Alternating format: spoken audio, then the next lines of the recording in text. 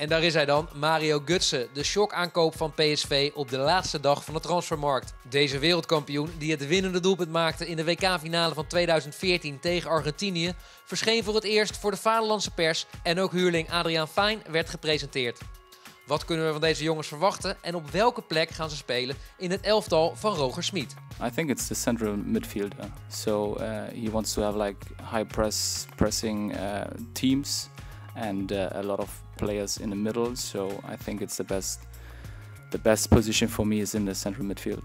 Uh, I think that uh, the coach uh, is planning with me as a midfielder. Um, I haven't played uh, in the defense uh, for a while. Uh, since I, I played um, professional football, I was always in the midfield. Just a few games in the fourth division in Germany, I played a few games in the defense, but no, I think the, the coaches uh, see me in the midfield and myself too. There were other options for sure, and I had a lot of time to think about it. But like I mentioned before, for me it is uh, the, the whole package. You know, the philosophy, the league, the team. Um, that was important for me to get back to my fitness, to my level, to play again, and uh, that that were, were the main reasons.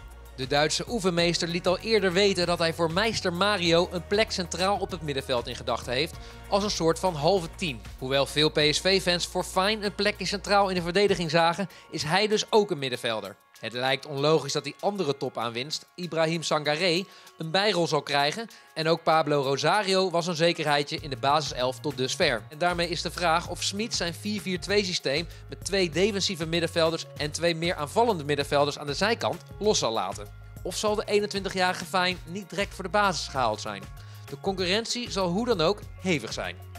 Yeah, it's um, it's a huge exercise for me, but um, I believe in myself. So um, yeah, I just want to to show show the team and show the coaches um, that I'm good enough for the first eleven. So yeah, as I said, it's an exercise, but yeah, I can deal with it. I think so.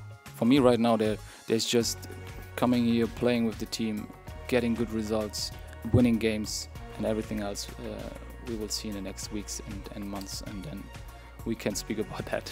I fell in love uh, with the idea to play here. So, um, but yeah, I, I played for Bayern Munich since I was eight years old. So um, yeah, they had a huge impact um, for me, and not just as a player, but as a person, because uh, I grew up with the city and with the club. So, but now it's time, I think, for a new adventure, and yeah, I'm just very happy to be here and yeah to develop here and yeah make many games for this uh, great club. I have big ambitions, and uh, one of one of them is for sure uh, going for the national team again. So, but it's not in my mind right now. So, I'm trying to uh, to come here to play, to get back to full fitness, to play again, and uh, that's that's the main the main target at the moment.